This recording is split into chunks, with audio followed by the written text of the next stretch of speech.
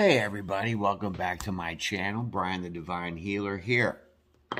Divine Squad, my lowest subscribers. Thank you. Thank you for your likes, your shares, your subscribes, and your comments. Noobs, welcome to my channel. Come on in, sit down, relax. Uh, this is going to be a little short video. Not about tarot. Well, I mean, it is, but it's not. Okay, so I'm just going to break it down for y'all right now because I had a revelation. A revelation, I say. Mm. So here I sit for y'all, right? I do these readings and it's hard enough sometimes to, you know, understand messages and figure out the whole meaning of this tarot because it could, could be a little confusing, you know what I'm saying? But pretty much I'm going to be, uh, I'm going to put a schedule for you, okay? I'm, I'm going to put the smackdown on YouTube and I'm going to lay some structure down okay? Because I know people do readings and do weeklies. I'm not bashing any other readers because I got much love for y'all out there that also put out, right?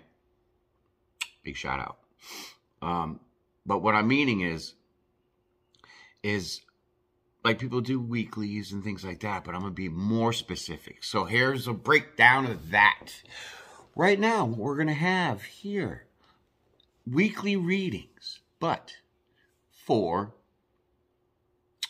Mondays will be Aries, Taurus, and Gemini. That's right. Mondays, Aries, Taurus, Gemini. Tuesdays will be Cancer, Leo, and Virgos. Then, on Wednesday, we will have Libra, Scorpio, and Sagittarius. Finally, on Thursday, we will have Capricorns, Aquarius, and Pisces. Four days. Every sign will be read. Every week, it will be like this. Every Monday, Aries, Taurus, Gemini, you can expect your reading. Tuesdays, Cancer, Leo, Virgos. You can also expect your reading. Same with Wednesdays on Libra, Scorpio, Sagittarius. Thursdays goes to the Capricorns. Like I said, Aquarius, and Pisces.